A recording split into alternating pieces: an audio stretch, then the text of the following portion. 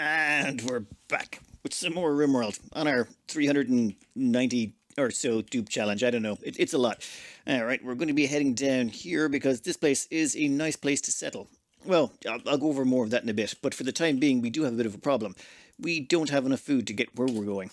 It's, yeah, we're definitely going to run out. Also, we're carrying around a dead alpaca. I should probably drop that into our inventory considering it weighs 50 kilos. What's our speed? 29.5, and if we drop the alpaca, 30, 36.9. Okay, that's a, a hell of a lot faster. We're going to wait until we run out of pemmican, then we'll switch to the lavish meals.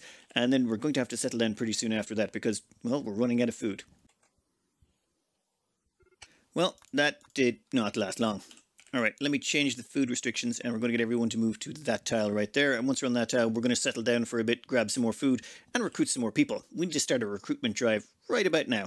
We're going to send in Pika on their own to scout the site. Uh, if it's a good enough one, which they always are, we'll send in the rest of the colony after them. Plus, it doesn't drop all our junk on the ground where it starts to degrade instantly. This map tile is actually perfect for our needs. It's got a good selection of animals here, or wildlife we can draw on. We've got a bunch of alpacas, and we've got three mega sloths for meat and clothing. We've also got some muffalos, boomalopes, wargs, and more importantly, we've got an ancient danger. And we're going to tap into ancient dangers for a different reason this round. We're going to go into these so that we can recruit people. There's a bunch of ancients in here, and we can recruit those ancients, and their resistance is usually quite low, so it should make recruitment pretty fast. The more people we have, the better. We don't have uh, the weapons or equipment to take them on quite well, so traps, I think? Yeah, we got a bunch of steel here. In fact, we're very well experienced at this. It should be fine, even if our weaponry is... Well, okay, our armor is pretty substandard at the moment, but I, I think we can manage this pretty safely. Let's just get ourselves up a little bit of a settlement for the night. Oh, and that table, that table is being lifted all the way from down here. There was a table in this room. We just yanked it and we're just going to bring it up straight away. That's one of the nice things about moving maps. You find tables everywhere. By the end of the first day, we have, well, an awful barracks. We, we really need to build a statue or something at some point. We'll, we'll get around to that tomorrow. But I think it did okay. We started much later in the day than normal. We can install the butcher's table. Hmm, actually, we're going to have to install all the cooking materials for tomorrow. We're running short on meals. Eh, it looks like our wolf knows how to feed itself. It just, it just chowed down on an entire rat. The entire corpse disappeared. Well, that definitely makes our lives easier. We don't even have to feed the damn thing. Training wise, well, we might want to keep on top of that. Uh, today, we're going to finish off our kitchen. Well, start the kitchen, get it finished, find an animal, butcher it up, and then start feeding ourselves. That's pretty much the go-to goal. After that, we might want to start doing some prep work on getting some steel, laying down some traps, and maybe some defensive traps for our base as well. We could get attacked at any time. Oh, dear lord, I'd completely forgotten again. No, no, no. Where is it? Storyteller settings. What were we thinking? Dear lord, no. Randy Random. Have to go back. Uh, using his fun, 500%, just to make sure. We can't abandon our Lord and Saviour Randy. Let's hope he wasn't too angry that we left him alone for a while. He can be awful contrary. While they're busy chopping things up, we're going to have Jason come down here and pick a fight with this uh, mm, Megasloth. Now, the reason we're sending Jason is, well, they're fast. They have a movement speed of 5 because they're a jogger, and we haven't given them any flak vest or anything like that that might potentially slow them down. The speed of a Megasloth is 4.8, so if this thing does go Manhunter, we cannot run it. Oh, seriously? Your like shooting skill is 10. You should be able to... 11, actually. You should be nailing that damn thing. Okay, after a few wounds as well, it slowed it down even more. Yeah, that's perfect. You know what? We're going to head back to base. We'll let that thing follow us. It just saves us from carrying it back. Uh, we'll have Jason head back up, get back to work, and then when that thing shows back up to pick a fight with us, we'll have all three of them mow it down nice and quick. That is a persistent Megasloth. It's very slow right now as well. I think it's actually almost bled out. Yep, there we go. Perfect. Um, then I think we'll have the Schweitzer come down here. Actually, no, finish that tree. You're uh, yeah, your plant skill is one. Your plant skill also one. I will have you uh, join in, or was it? We'll have them finish off the uh, the mega sloth, and then we should hopefully have more than enough food to keep us going for a while. In the meantime, Jason's going to get started on the steel, and Pika's just going to keep chopping the wood. We're going to need wood because we're going to need a stonecutter's bench to get some marble so we can make statues. We're also going to need that uh, statue table to actually, or the sculpture table to make those statues. And we're also going to need a garments table so that we can make garments. We're going to need to get ourselves some dusters, otherwise people are going to start getting cold. And you know what, we'll hold that open. And why is this whole place surrounded in stone chunks? We need to get rid of those. By the end of the second night, we're only, well, mildly in a bad position. We've got food coming in, so we're good on that front. We've got enough meals to keep us going for a while, thanks to the Mega Sloth. Uh, we do have some more material we can use to make a few um, pieces of clothing. We've already started on a heavy fur duster. A couple more heavy fur dusters and it should solve all of those need warm clothes warnings. And then, oh, and then we can get started on mining this so that we can put down our traps. I think we're in a good position. In the middle of the night, some rare thrumbos show up. Hell yeah. This, this is an opportunity and also an enormous risk. This one, however, has a movement speed of 3. This one has a movement speed of 5. This one has health conditions. That means if we anger this one, we can still outrun it and kite it down. This one, if we anger it, it might run us down and gore us with that horn. So I'm thinking we can pick a fight with that one if we can get them to spread out a bit. It's worth an awful lot of money, awful lot of meat, and it gives some really good hides as well. Alright, I think we'll finish the last of the... Uh, go keep up the good job. We're going to need more meals, but yeah, we're going to finish off the last of those trees so we have a nice stockpile of wood. That stuff just tends to vanish no matter what you do. Oh, first mental break. Someone's gone a bit angry. Uh, Jason is not happy because, well, they're staying in an awful barracks. At the moment, I'm trying to plant some roses to fix that, but... Oh, great. This is going to be an awful lot of repairs, isn't it? Never mind, never mind. It's a minor mental break, I suppose, for the start. And once they've got catharsis, we'll have three days of nice, pleasant building behind in front of us. We have managed to raise the barracks up to decent. That should hopefully prevent any further mental breaks. That'll also count towards their dining in here, so I think we'll be good for a while. Uh, tomorrow, we got to finish mining out the last of the steel, start someone on making sculptures, and start making a bunch of traps over here. So, a nice sculpture too made of marble should solve all of our problems. And oh my god, meal just wandered in. Would you look at that tasty, tasty treat? Oh, look at that face. That's the face of lunch, all right. Uh, first thing in the morning, we'll go say hello to that face. Or, or that will come to us. Okay, that's, uh, that's fine. You know, I almost feel bad. It, it just wandered in and just lay down beside us. Um, yeah, we'll, we'll maybe wait till it leaves the building before we start shooting. We don't want to get blood everywhere.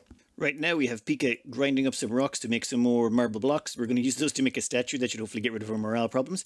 Uh, the Schweitzer is over here mining out the steel and Jason is harvesting some lunch. Ooh, 4.61. Didn't do enough damage. Jesus, actually, you did do a fair bit of damage. You took out, what, the body and the lung? Christ. Okay, that's actually some pretty good shooting you got going on there. Uh, with a speed of 5. Damn. You know what? Uh, let's have a couple of more people help out with this. This thing's a little bit too zippy, if you ask me. Uh, Jason, head that direction. We can have one run around in circles, and the other one can shoot it while it's happening. Come on, just go down already. Well, that's going to be lunch, well, at least for a few days. Uh, we did have to waste the last heavy fur we got on a bedroll after Jason smashed up the last one, but that's, that's fine. Uh, we've got enough marble now we can make ourselves up a statue. This should make sure that anytime we move somewhere, we at least have, well, we won't be moving very far. We should only have one or two more jumps to make before we get to our home place. All we do is clear all of these and we just make sure it uses marble blocks. We only want one pica mule for it and just drop it on the floor when you're done. Perfect. And then I think we will suspend most of these. We don't need any more marble blocks for the time being.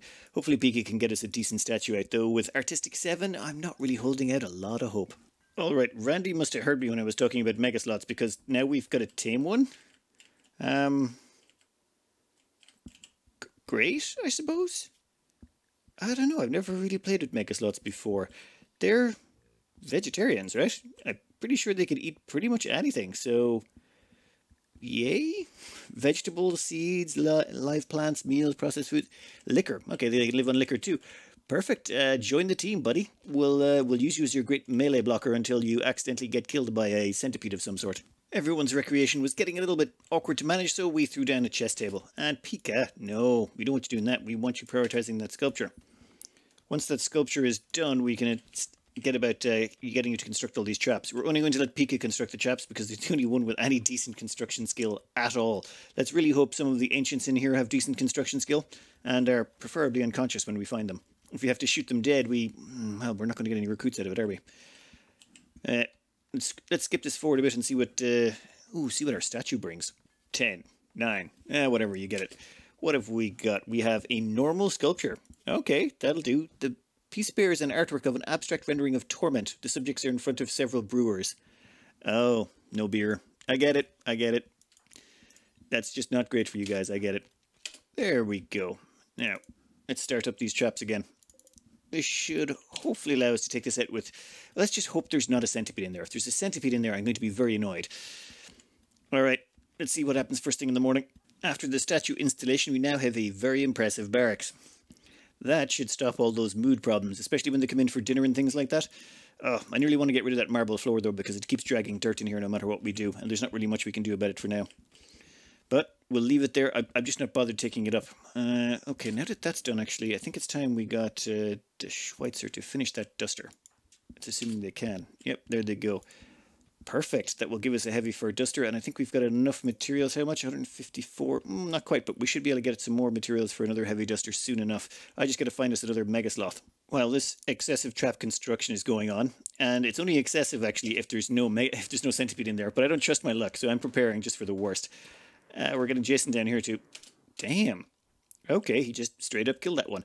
That should give us more than enough heavy fur to complete another couple of dusters. And with that done, where did the duster go? Ah, we've got a good duster. You know what?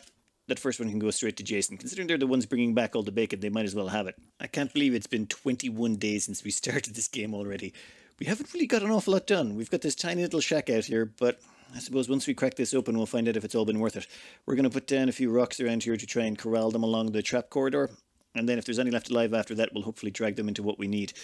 Uh, we've got two more heavy fur dusters queued up and I think we might do another statue after this if we get a if we get some recruits. If we don't get some recruits, we probably should just grab some food and move on. Well, resources wasted. That is fine. Come on, hurry up. That's damn. We are almost ready to go. I think once Pika finishes that trap, we'll kick it off.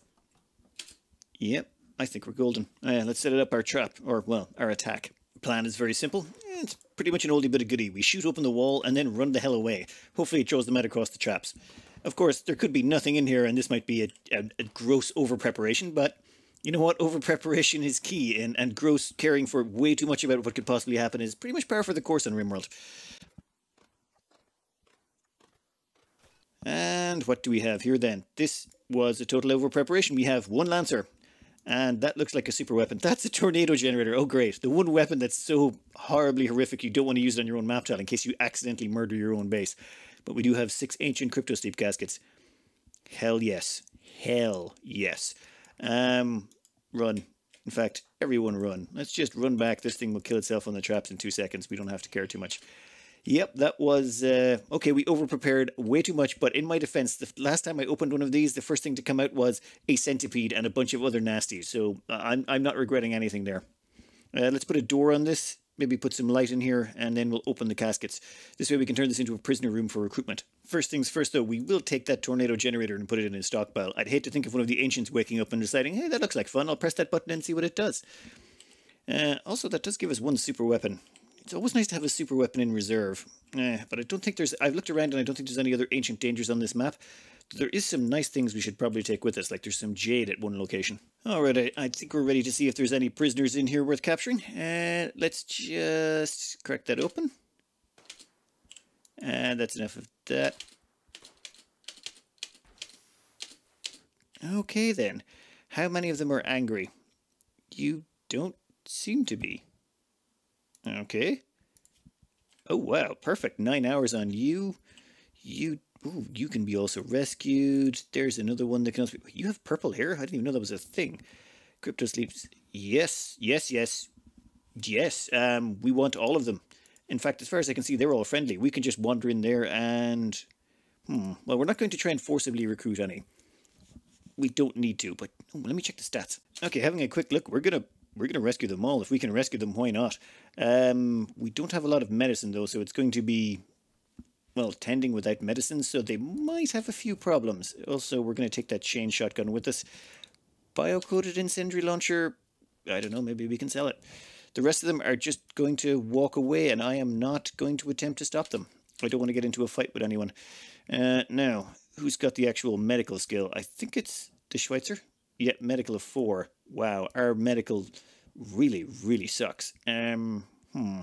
Give me a minute. We're going to have Jason clean the room, and then the moment the Schweitzer gets them over there, we're going to have them start tending.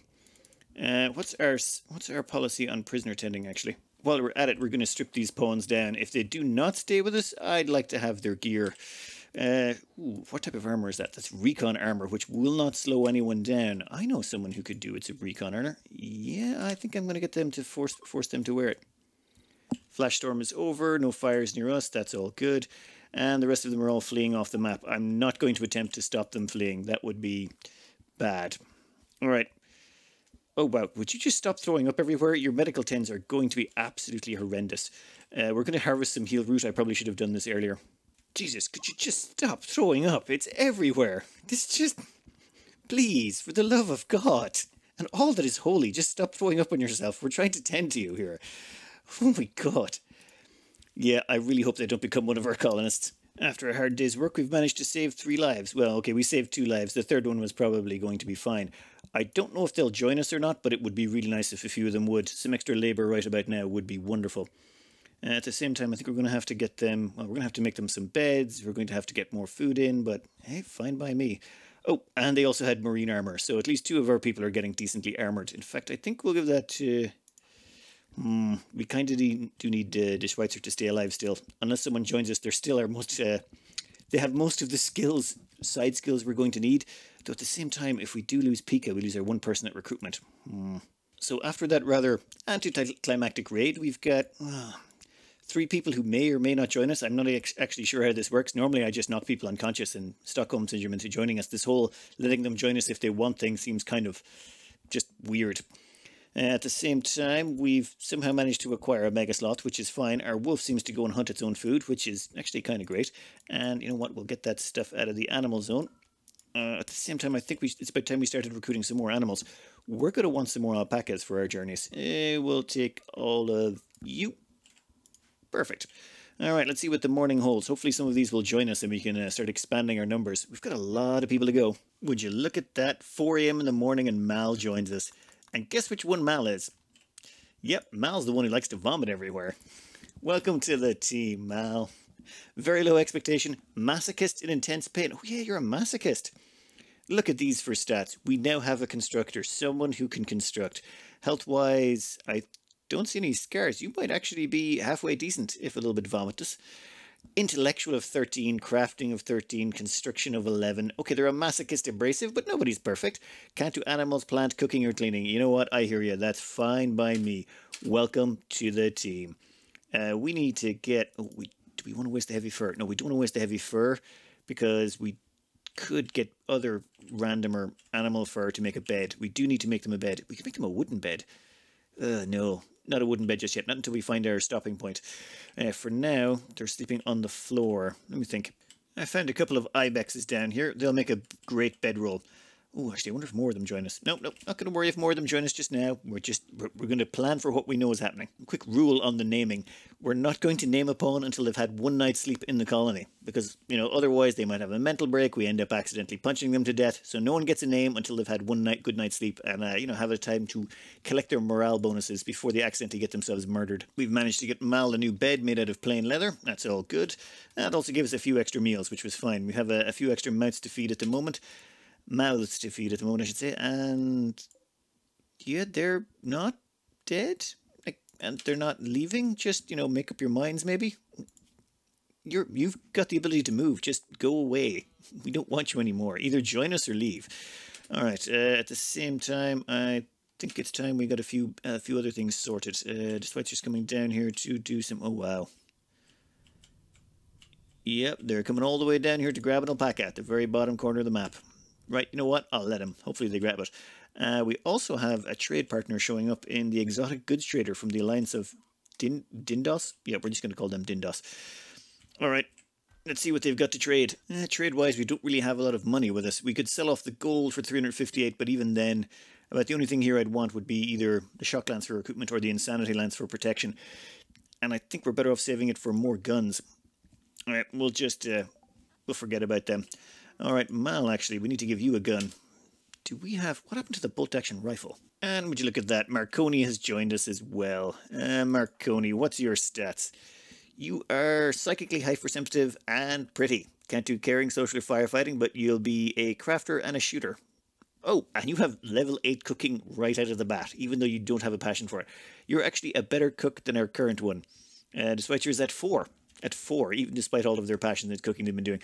Though we have not had a single food poisoning so far, which, I don't know, that's got to be a record. Alright, so that means Marconi's with us. Damn it, we need to go get another bed. right. Time to find some more animals to slaughter. So, due to some sloppy play on my part, uh, Jason got a few scratches there from a warg. I, it's just the wargs were close by, they have a good amount of leather. He ended up getting involved in an actual fisticuffs with it. Thankfully, he had the marine armour and it didn't take any of his fingers or toesies. Yeah, it, it's, it's too easy to lose fingers and toes in those sort of encounters. Yeah, Marconi's over here, but hopefully once we get the second warg, there's another warg over here. Once we've grabbed the second warg and added them to the pile, we should be good to get them a bed. And we'll see what Kenya decides to do. In fact, Kenya has her own weapon, whereas she's got a bio-coded incendiary launcher, which would be nice for corpse disposal, but that's about it. I sort of realised later we actually have a bunch of alpaca wool lying about the place. It's one of the joys of actually having alpacas. They give you lots of wool and we can make lots of bedrolls out of them. So, uh, it's been one full night's sleep, and now Mal and Marconi have actually survived the night, though I think Marconi no, their, their expectations are a little bit wonky, namely because they slept on the ground and ate without table. So this should almost sort them, should it? No, still not going to be high enough. We'll, we'll maybe name them tomorrow, but Mal, though, we can give her a name now. For picking the names, I thought we'd go over this just the once. I'll do this in the background the rest of the time. But this is it. It's basically a web page that allows you to click to spin. And we've got all the names everyone in here. Well, actually, it's more like a raffle. Everyone gets entries for the amount you're donating. I didn't want to have it uh, being too odd, as in someone who's donating more than another person will have more entries. That way it sort of seems fair. So, it looks like it's Lee T. Doyle will be... Oh my god, that's going to be the name of the person with purple hair. Well, Lee, uh, welcome to the team.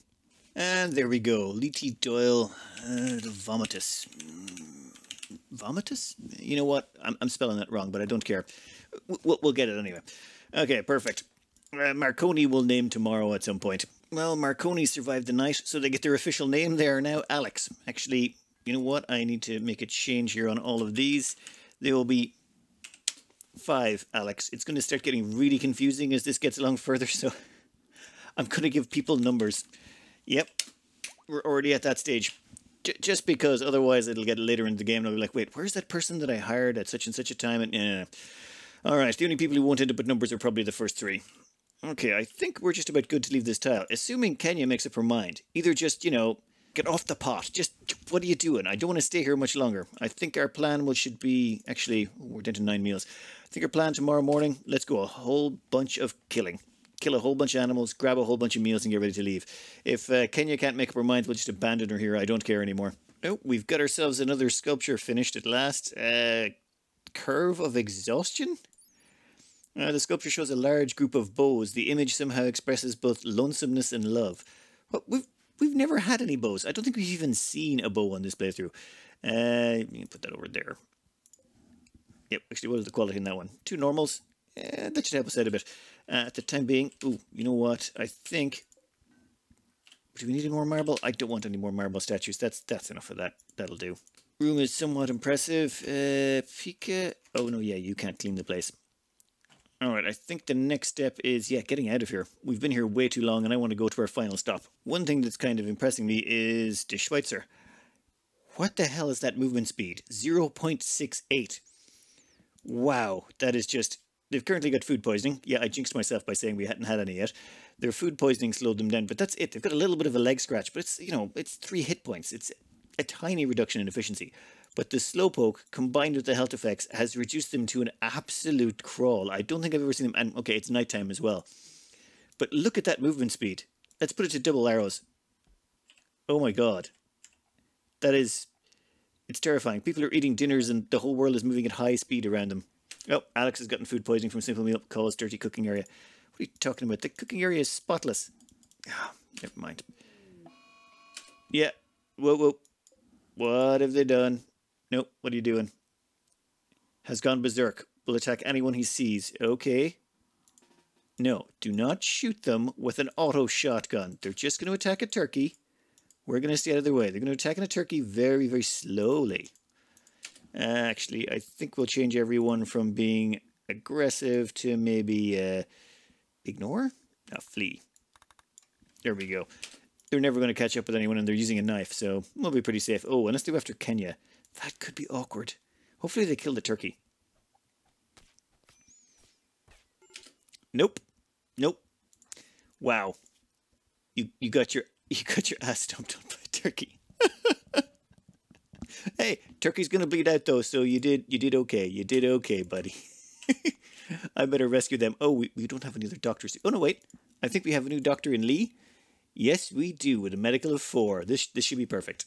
Uh, the next morning, and our food poisoning situation has led to some rather uncomfortable problems. I believe Alex has food poisoning, uh, De Schweitzer has food poisoning, and ooh, Jason had food poisoning, but they recovered.